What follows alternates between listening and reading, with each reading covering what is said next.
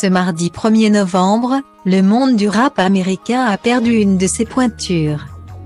L'artiste Takeoff, du groupe Migo, a perdu la vie après avoir pris une balle au cours d'une soirée organisée par le rappeur J. Prince dans un bowling situé à Houston pour Halloween. Selon les premières informations dévoilées par TMZ.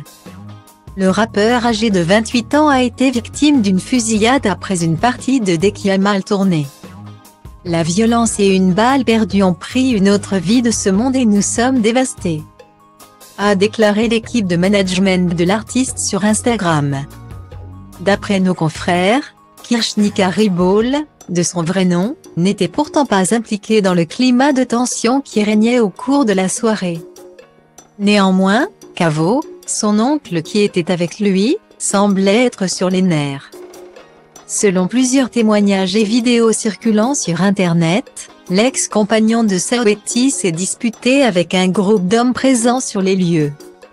Je ne m'écrase pas comme ça, aurait déclaré Cavo.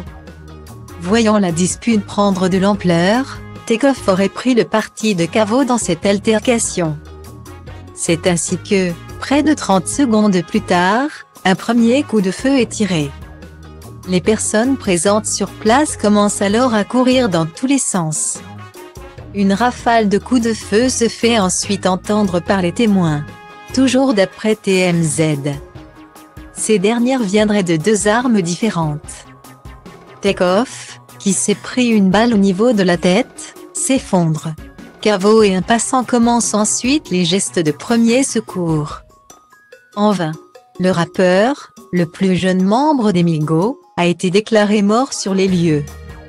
Une triste nouvelle pour le monde de la musique qui pleure, encore une fois, la disparition d'un de ses artistes les plus prometteurs.